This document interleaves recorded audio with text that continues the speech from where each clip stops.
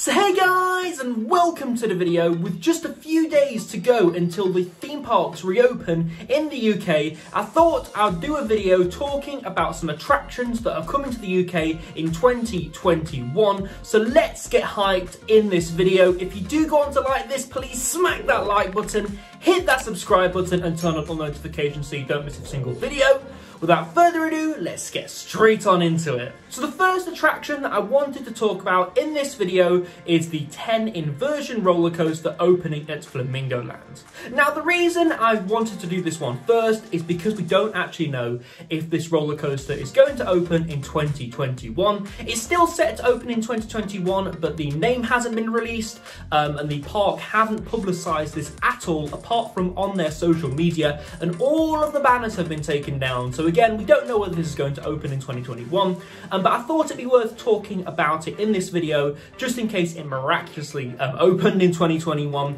So this is going to be a um, Intamin multi-inversion coaster. This is going to be the revision B of that um, layout. This roller coaster originally came from Malaysia. It was set to open in a park in Malaysia, um, but they didn't actually um, have the money to open it or construct it. So all of it was shipped to Flamingo Land in the UK, um, and they threw it up there. Um, I'm really looking forward to this roller coaster, I'll be honest with you. Um, when I go to Flamingo Land for the first time this year, I'll definitely bring you some off-ride footage of this coaster.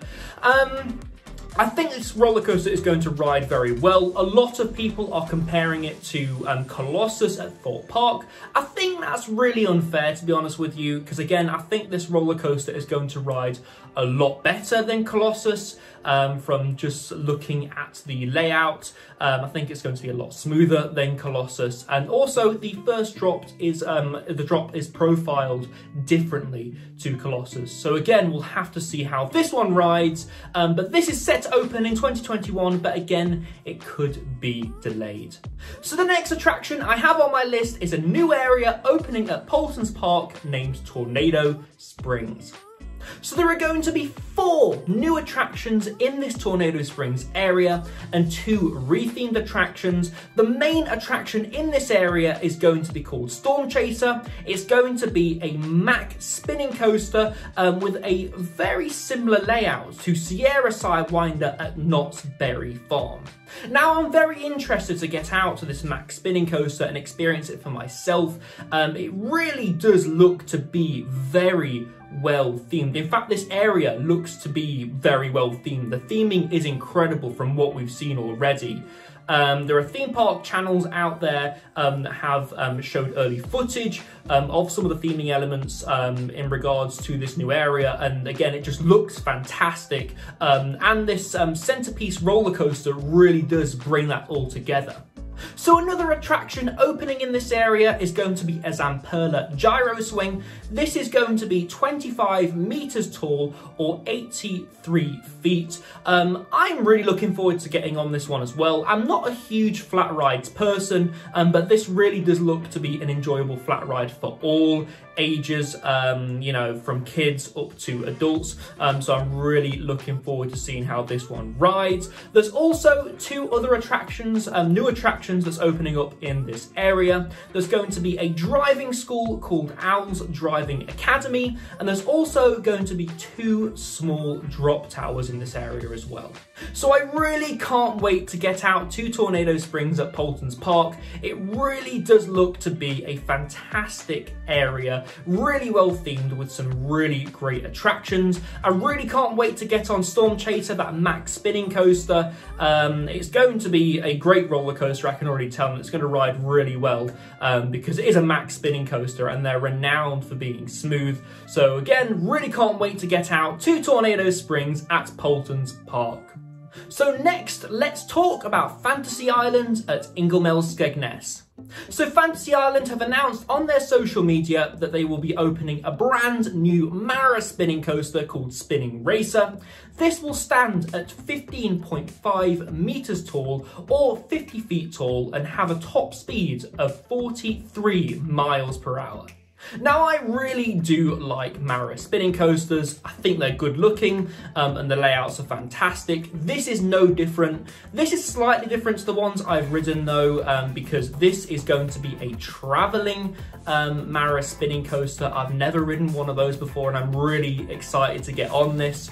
Um, I'm really looking forward to the experience on this roller coaster. Um, I really do feel like this will offer a great ride experience. Um, it'll be interesting to see how it rides given that it's a traveling roller coaster. I've never actually done a traveling roller coaster before, so I don't know how they ride as a sort of generalization. Um, but I'm sure it's going to be fantastic and I'm really looking forward to getting out to this one. Again, it's going to be a brand new credit for me. So Fantasy Island are also opening a brand new dark ride named Harrington Flint's Island Adventures. So not much is known about this dark ride. We don't even know if it's going to be a dark ride, but I'm presuming that it's going to be a dark ride based off of information that um, Fantasy Island have given to us already. So what we do know is it's going to be a shooting ride. So there's going to be some sort of um, shooting element on this ride. You know, you shoot and you get a score, something like Duel at Alton Towers. Um, what we do know as well is there's going to be custom graphics um, on this particular ride. Um, they've been teasing those on their social media. Um, I really do like the graphics. They really do look cartoony um, and they look really interesting as well. So I am really looking forward to seeing what Fantasy Islands um, are going to do with this um, dark ride just because they've been teasing it so much and they've been bigging it up so much. I'm really expecting high things from this this um, particular dark ride. So next, let's look at Chessington World of Adventures and their brand new FBS Visa drop tower named Croc Drop. Now, Croc Drop is going to be 25 meters tall or 84 feet. Um, I'm really looking forward to this. It's a really well themed drop tower. Um, I'm slightly concerned though, just because drop towers tend to have really low throughputs. So I'm expecting this um, particular attraction to have really bad queues. Um, I'm interested to see whether they have some kind of pre-show on this ride um, to help entertain guests through the queue, just because of the theming on this um, particular um, SBF Visa drop tower. Um, I'll put some um, images again on screen now, but you can see that the drop tower actually comes out of a large crocodile's mouth. I'm really excited to get out to Chessington World of Adventures at some time this year to go check this out because I really do want to see um, the ride for myself and again how it rides. So let's talk about Thorpe Park and their brand new attraction for this year, the Black Mirror Labyrinth. Now the Black Mirror Labyrinth was actually set to open in 2020 but couldn't open due to it being an indoor experience um, so it was moved to 2021. I'm really excited for this. Um, I'm expecting this to be a lot like um, Saw Alive just without the actors and replaced with screens and um, smoke effects and things like that. I'm really expecting this to be a um, state-of-the-art attraction. Um, I don't think they would have, you know, cheaped out on on the um, Black Mirror um, IP. Um, again, I really do think it's going to be something special. Also, at Thorpe Park Resort this year, I'm really hoping they are able to reopen attractions like Derren Brown's Ghost Train um, and the Walking Dead, um, the ride attraction. Um, I didn't get to experience Derren Brown's Ghost Train prior years, so I'm really hoping to experience it this year. I'm also really hoping to get on the Walking Dead, the ride, as I'm not experienced it as The Walking Dead The Ride yet, um, so that'll be a really interesting experience for me. Also coming this year, um, or returning this year, sorry, is the Oktoberfest event. Um, this was absolutely fantastic at Alton Towers, so I'll definitely be trying to get to the Oktoberfest event at Thorpe Park. If it's anything like the Alton Towers event, it's going to be great. Um, it was at Alton Towers, there was lots of entertainment, there was lots of food. Um, and of course lots of beer. So again, I'm really excited to get back out to Thorpe Park to ride some of the UK's best roller coasters and also to experience those brand new um, returning events and attractions. So next, let's talk about Alton Towers. Man, where do I start? So Alton Towers have announced their brand new Gangster Granny The Ride. This is a ride based off of the um, popular children's book um, and movie um, Gangster Granny. Um, I've seen some um, like beside, behind the scenes um, videos of this ride. Alton Towers released an official behind the scenes video for this ride. It really does look good. they have announced some projection mapping to be incorporated into this ride, and there does look to be a lot of theming and set pieces, um, so I'm expecting this to be a highly themed experience. Along with the Gangster Granny of the ride comes the world of David Walliams. This is a retheme of the storybook land area at Alton Towers. I'm really happy that they actually rethemed this area in all honesty, just because the storybook land was looking a bit sorry for itself and it didn't really have any place um, in the so-called modern Alton Towers. Um, so yeah, I'm really looking forward to the world of David Walliams. Again, it's not really targeted, targeted towards my demographic, um, but I am looking forward to getting on Gangster Granny the Ride to experience it for myself nonetheless. So also coming to the Alton Towers Resort this year, we have the Mardi Gras event. This is going to be a carnival style um, event. Um, I presume there's going to be lots of um, street parades, um, there's going to be lots of events happening on that stage that I showed you um, in my latest vlog. If you've not checked that out, there is also a link down in the description to that if you want to see that brand new stage.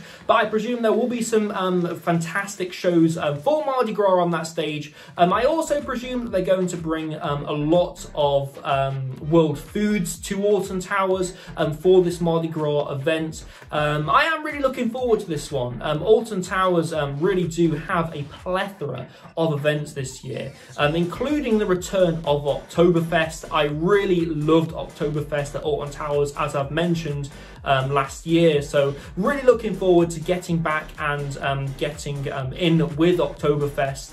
Um, I really do hope that it is as good um, as it was last year. Also, we have um, the um, brand new um, winter event. This is going to be a event um, again that's held at Christmas. that's going to replace sort of like the hotel events because years prior to 2020, they didn't really open the park up um, to people who weren't staying in the hotel. That's all changed this year. They're going to open the um, theme park up to people um, who want to come um, for Christmas. So I'm really looking forward to that.